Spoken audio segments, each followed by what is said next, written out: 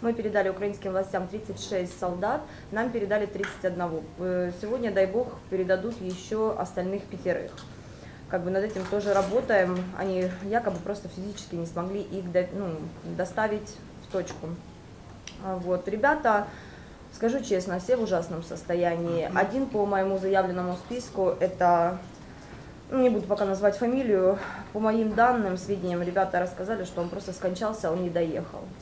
Поэтому вместо него дали как бы другого человека, тоже раненого. У одного травма копчика, то есть он вообще ходить не мог, мы его на носилочках перена- э, перенесли в скорую помощь. У второго была, насколько я помню, с ногой травма ног- ноги, это огнестрельное ранение.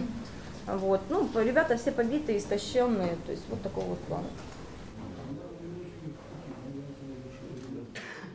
Эмоции все просто на взрыве, то есть ребята рассказывают, как их, бью- э, как их били, как их унижали, как вот эти вот мешки на голове и так далее. То есть эмоции, вы понимаете, человек просто пода- люди просто подавлены морально.